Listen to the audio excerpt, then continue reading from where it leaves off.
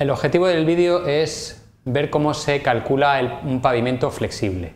Bien, aquí tenemos los datos de...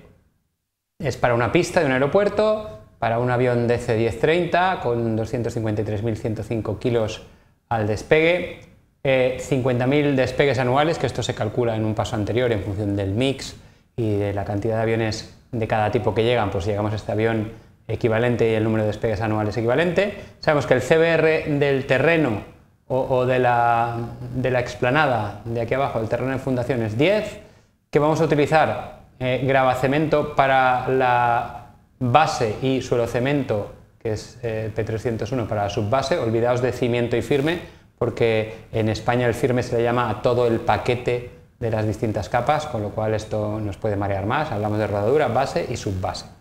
En conclusión, lo que quieren que sepamos es T1, T2, T3 y el espesor global T. Eh, nos dicen que eh, en las curvas de, si usamos curvas de la FAA tendremos que utilizar todo el peso del avión y si usamos curvas de Airport Planning tendremos que utilizar la carga sobre el tren principal que es el 95% del peso del avión. También nos dicen que el espesor mínimo de la capa de rodadura T1 ya nos lo dan, que va a ser 5 pulgadas, 13 centímetros en zonas críticas y 4 pulgadas para zonas no críticas. Como es una pista de aterrizaje, pues es una zona crítica. Y luego también nos dicen que el CBR de la subbase, que es aquí arriba, es 20. Como sabéis, estas capas tienen, eh, su objetivo es incrementar la resistencia del terreno para las capas superiores, dar un CBR superior, de forma que la rodadura se apoye eh, eh, sobre un terreno lo suficientemente firme.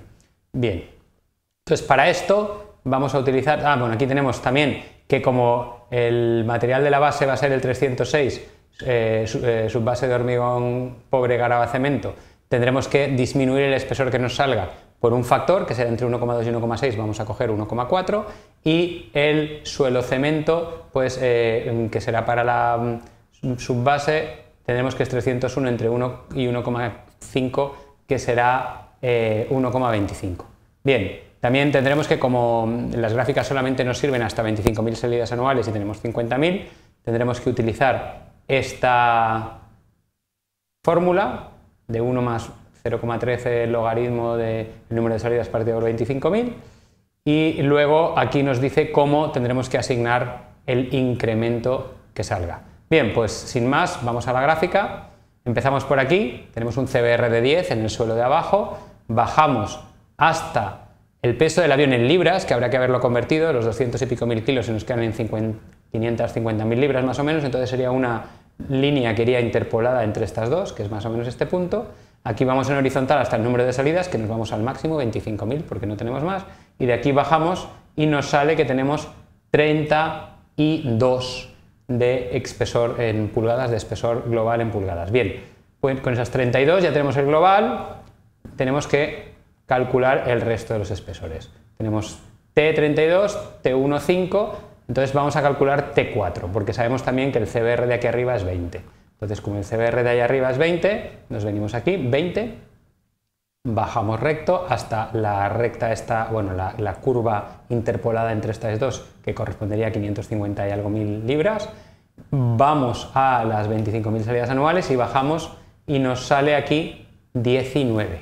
Con lo cual, sabemos que T4 es 19, T1 es 5, con lo cual T2 es 19 menos 5, 14, y T3 será 32 menos 19, pues lo que sea, 23. Vamos a ponerlo aquí.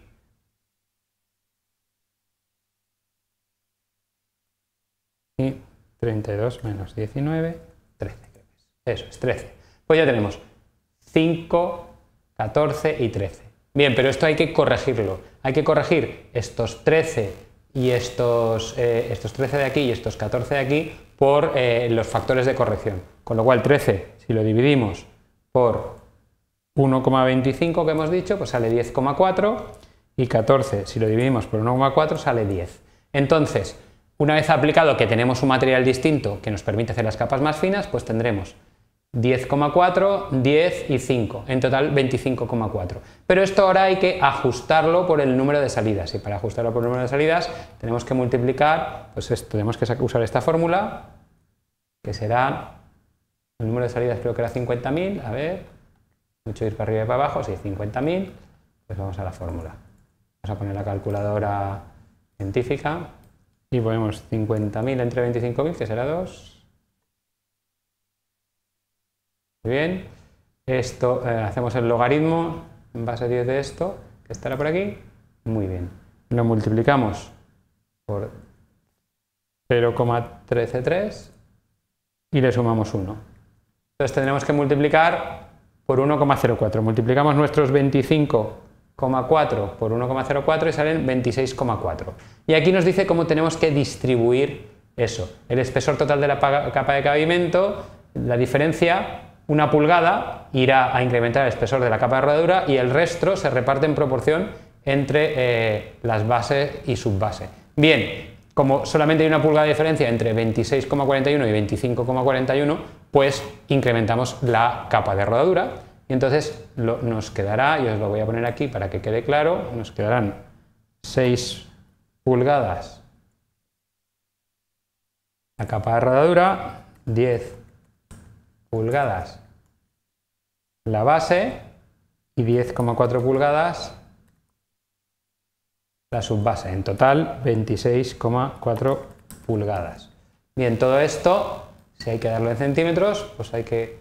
Eh, voy a poner la fuente un poco más grande para que la veáis, pues esto habrá que multiplicarlo por los centímetros, o sea, por la conversión de pulgadas a centímetros para obtener los valores en centímetros.